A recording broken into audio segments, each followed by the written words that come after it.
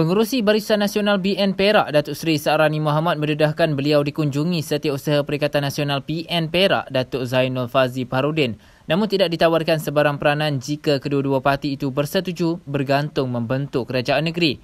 Sarani berkata atas faktor itu beliau menerima pelawaan Pakatan Harapan PH untuk membentuk kerajaan negeri kerana ditawarkan jawatan sebagai Menteri Besar sekaligus membolehkan dirinya meneruskan perancangan ketika memikul jawatan itu sebelum ini.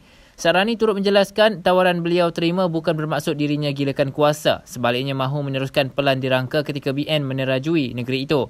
Beliau berkata UMNO dan BN pada asalnya bersedia untuk menjadi pembangkang kerana sedar mereka tidak mampu membentuk kerajaan negeri selepas PRU 15. Beliau berkata demikian pada sidang media selepas mengangkat sumpah sebagai Menteri Besar pada Isnin.